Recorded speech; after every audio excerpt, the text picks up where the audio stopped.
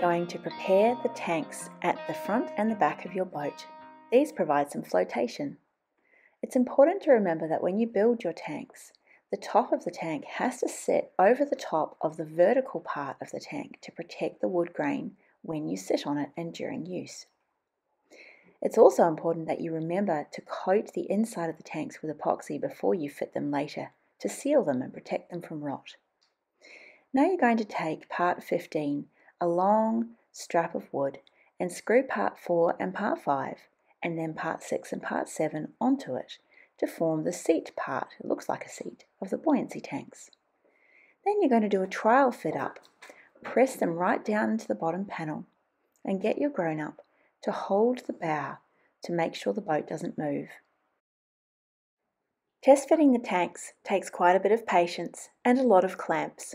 You might need to pop the tanks in and out many times and shave off little bits of wood as you go to make sure that you get the perfect fit.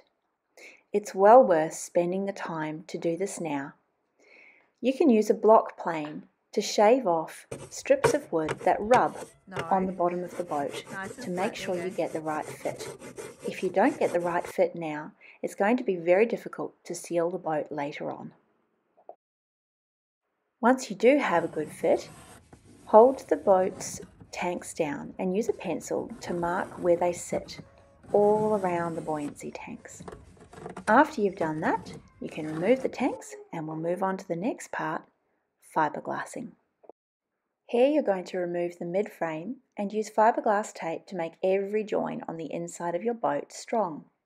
Then you're going to fit your skeg, which is the little tail that sticks out underneath your boat, and seal or paint your whole boat with epoxy.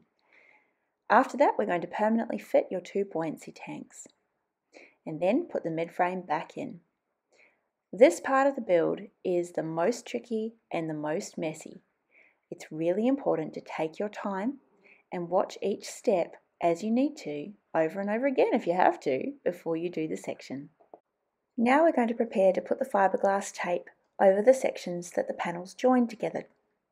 We'll start on the outside of the boat and then turn the boat over once that's all dry, remove the midframe and put the fiberglass tape on the inside. To begin with, on the outside of the boat hull, mark a line 20 millimeters from the join of each panel. This gives you a guide on where to put your fiberglass tape. You can use the measuring gauge that you made earlier to do this. Then you're going to cut lengths of fiberglass tape long enough for each seam. You'll probably need your grown-up to help you with this. Fiberglass tape can be very messy and very difficult to cut if you don't have sharp scissors. Don't forget, to sand your seams nice and flat before you apply your epoxy or they'll have nothing to stick to. We have used the fiberglass, we've mixed it all and we're going to cut the fiberglass tape into strips, put them on the cardboard, wet them down and put them on the boat with the roller. Here you can see the tape has been epoxied onto all of the seams on the outside of the hull we had a little bit of epoxy left over because we mixed too much. So Jean is rollering a coat of epoxy over all of the panels on the outside of the boat to help seal it. Now it's time to tape the inside of your boat, but to do that you're going to have to remove the mid-frame.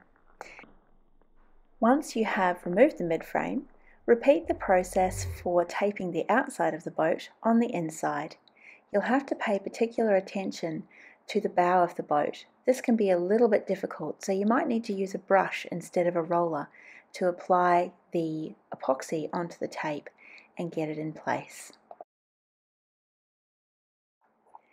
A skeg is a small tail that sits underneath your boat and helps to steady your boat in the water.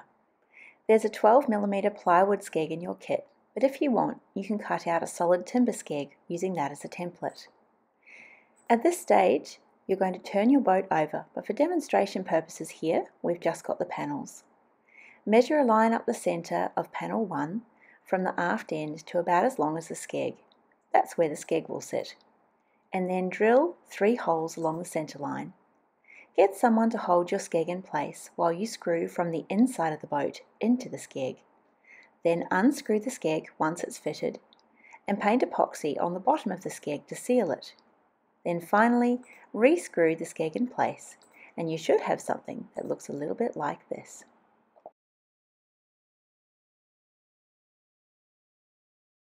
Okay, so now we have planed the corners of the mid frame. So as you can see, here, here, and here, so it will fit over the fiberglass strips. And we'll cable tie, so we'll put glue where it is, like this stuff. It's nasty. And uh, cable tie it in until it's dry. So make sure that use gloves for this, but now we're going to put the epoxy stuff all along the edges to stabilize it and keep the mid frame in so it doesn't pop out.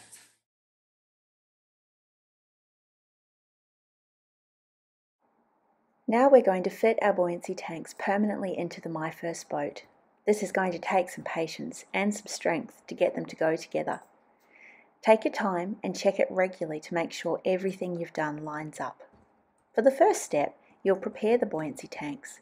Plane and sand the top edge and corner of the tank, where your knees would bend over them if you sat on it in the boat, to a smooth curve. This is really important or the fiberglass tape won't wrap over the edge and stick. Next you're going to plane the back corners of the buoyancy tank, just like with your mid frame. This is to make sure that the new epoxy fillet that's been added since your dry fitting is accommodated for. Plane the forward point and corners of the front tank to allow for the epoxy fillets as well. And double check that you have sealed the inside of the tanks with your boat coat epoxy resin to make sure that you can get a complete seal. Now you're going to fit and glue your tanks. Find as many clamps as you can and some small wooden blocks Clamp the transom former into place and position both your tanks using the pencil marks you made earlier. To clamp your planks in, use small wooden blocks sitting up to the edge of where the gunwale will be. Clamp the wooden block to the edge of the boat. Once your tanks fit well, mix your epoxy. Glue the tanks in place with boat coat epoxy filler between each clamped wooden block. This will leave little spots that you'll have to come back for later. Once it's gone off, remove the blocks and go over the gaps. Then remove your wooden brace. After the epoxy glue has set, sand the dry boat coat epoxy fairer that is holding the midframe and tanks in place to prepare for fiberglass taping. Fiberglass taping the joins on the inside of the boat that hold the midframe and buoyancy tanks in place is more complex than fiberglass taping for the long panel joins on the inside and outside of the hull. Make sure you take your time and use a paintbrush to help you to wet the tape if you need to. Rollers may not fit into these spaces. Continue until all your seams around the front and aft tanks and the midframe are taped and then allow them to dry. It's really important not to leave any air bubbles on the tape during this step. Well done! Now you're ready for the final stage of your My First Boat build, finishing your boat.